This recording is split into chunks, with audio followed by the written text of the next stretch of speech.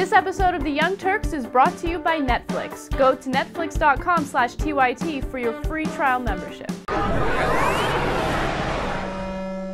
You know, I've been ignoring this story for a while now, but it's exploded to the point where it's super interesting and uh, basically shows how much of a failure Charlie Sheen is. All right. So um, CBS has just canceled Two and a Half Men, which stars Charlie Sheen. And the reason why they canceled it is because uh, Charlie Sheen was livid that they decided to postpone the rest of the season so he can go to rehab, right? He was really upset about that. He didn't want them to postpone the season. So he goes on Alex Jones's radio show and he talks about the creator of the show, whose name is Chuck Lorre, all right? And this is what he had to say about it. Um, I'm tired of being told, you can't talk about that, you can't talk about that. Bullshit. There's something, something this side of deplorable that a certain uh, Haim Levine, yeah, that's Chuck's real name, mistook this rock star for his own selfish exit strategy, bro. Check it. Alex, I embarrassed him in front of his children and the world by healing at a pace uh, that his unevolved mind cannot pr process. Last I checked, um, Yahim, or Haim, I'm sorry, uh, I spent close to the last decade effortlessly and magically converting your tin cans into pure gold. And the gratitude I get is this charlatan uh, ch chose to do his job, uh, chose not to do his job, which is to write. Clearly someone who believes he's above the law. All right, so let me break this down. Uh, first of all, uh, Sheen is mad that they have canceled the rest of the Two and a Half Men season because uh, Chuck is saying I, am done with it because he's the executive producer and the head writer of the show, uh, and because of stuff that Charlie Sheen has said about him before right. even this quote. Uh, and look, on the one hand, you can't let you know people's personal uh, insults get to you and and take down the whole show. But on the other hand, Charlie Sheen seems to be unbearable, and how many insults can you take as the person who's putting together the show? And look, you know me, I have a bias in favor of Charlie Sheen in the past. It's because I have a couple of friends who are a lot like Charlie Sheen, like Kanye West kind of talk. I have friends who are like Charlie Sheen. Mm-hmm. No, in this case, it really is true.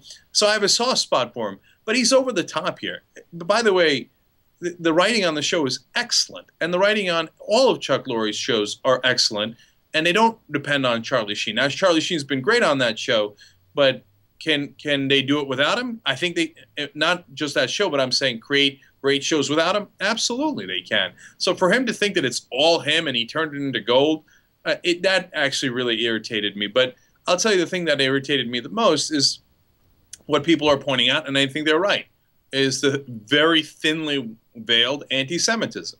You know, saying, "Oh, his real name is Chaim Levine."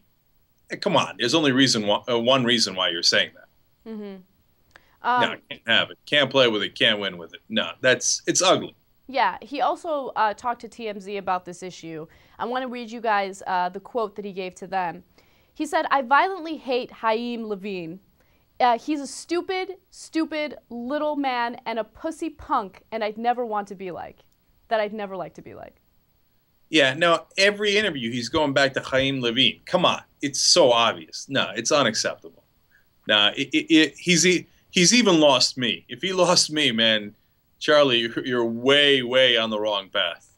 Yeah, and look, I, what what I find super questionable is the fact that he's doing all these interviews talking about how awesome and amazing he is for uh, rehabilitating himself in such a short period of time. He obviously has some severe issues with drinking and drugs, and he still needs help. He's under the impression that, you know, he's in the right state of mind and he's completely stable. Based on these interviews, he's completely unstable. He needs to go back to rehab.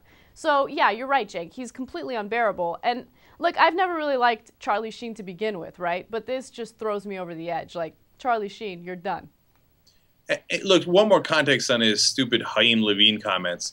It's like when people say Barack Hussein Obama. Right. They're not saying that by mistake. You know why they're saying it. They're trying to paint him as Muslim, right? And that's what Charlie Sheen's doing with uh, Chuck Lorre in this case. They're like, haha, he's Jewish. And and what? What's your point? So it's it's really it's it's look, the guy's got a problem, man. It's sad, and for him to be doing this in public, it's it's terrible. And look, I guess he's got enough money, and, and I don't know if he, he, can blow it all on coke for the rest of his life. but uh, he's getting close to ending his career, not because of comments he's making about Chuck Lorre, but because who wants to work with a guy like that? Right. I don't. No, I mean, if you were going to do a project, TV show, movie, or whatever, would you want to take on Charlie Sheen? He thinks he's the you know the guy who makes everything happen, and he has all the power, and he can do whatever he wants, and then he'll badmouth you in public like this to extreme degrees. I wouldn't take him on in a project because I think he'll tank the project. Get a load of Netflix. They deliver the movie to your house, no late charges, free shipping. You can watch thousands of movies or TV shows straight on your PC or on your television through a gaming console. Netflix.com slash TYT. Free trial membership. You get Netflix all over you.